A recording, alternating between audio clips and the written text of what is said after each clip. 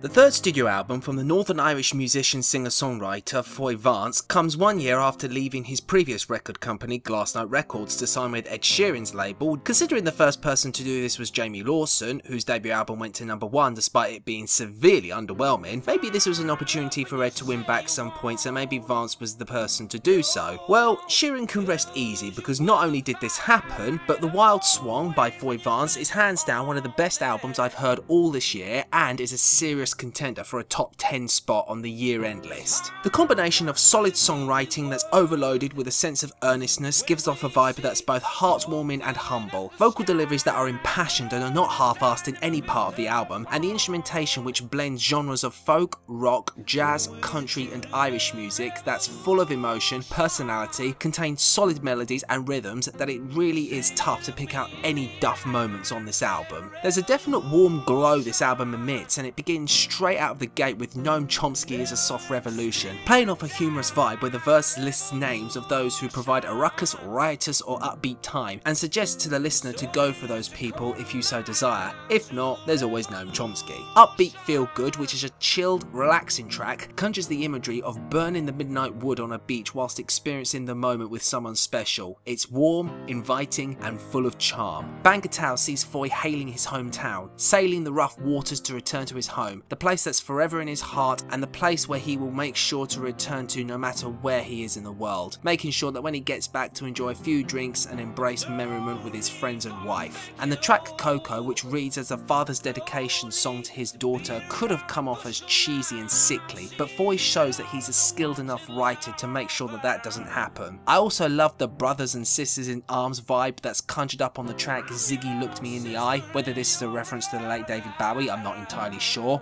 A rallying cry of revolution that comes across as sincere. A revolution for what? I don't know, but who cares? A similar theme is found on Fire It Up, the Silver Spear, a call to keep the fire in everyone alive and rise up out of lingering doubt. The song Be Like You Belong seems to be about reflecting on the idea of getting old and Foy reflecting on things that he's been through and reminiscing on possible regrets, but encourages himself to live in the present. A simple sentiment, but it's presented with a raw earnestness. And the final track, The Wild Swans on the Lake, caps off the album beautifully, conjuring a serene wedding in the wilderness, using some stark yet gorgeous images in the meantime. Instrumentally, the album is pretty sound across the board and there's very few moments where the instrumentation falters. Tracks like Burden, unlike any other, Ziggy and Coco are rooted solidly in the folk genre, but there are some tracks where it's the little things that make the song special. Noam Chomsky with its soft rock delivery and inclusion of horns that just simmer in the background before the fuzzy saxophone takes us out. Upbeat feel good blending elements of jazz and country and the inclusion of accordion is divine. The accordion appears again on the piano led Bangor Town which just smoulders. The bass line that gives She Burns a nice little bounce in the middle. Fire It Up is packed to capacity with layers of sound, the bright acoustic guitar, the military drums, and Irish violin instrumental at the very end and the string only instrumentation on the final track is simply gorgeous. In conclusion, from what originally was catching a Foy Vance song on the radio quite by accident, turned into one of the most pleasant and enjoyable album listening experiences this year. Yes, the instrumentation isn't bombastic, in your face, highly technical, and yes, the songwriting may not be anything that's entirely groundbreaking, but what brings everything together so beautifully is the sheer earnestness in Foy's vocal delivery, the emotional resonance that drips from the lyrics, and the understated instrumentation where it's so blatant that real care and consideration went into pretty much every moment. I will say that some songs do resonate stronger than others, and that's primarily why certain songs stick with me more than others. Probably the main reason why I'd say Casanova out of all of the songs on this album resonates with me the least. But all I can say is this, it's a great album and one that I strongly recommend. Overall, I score this album an 86 out of 100.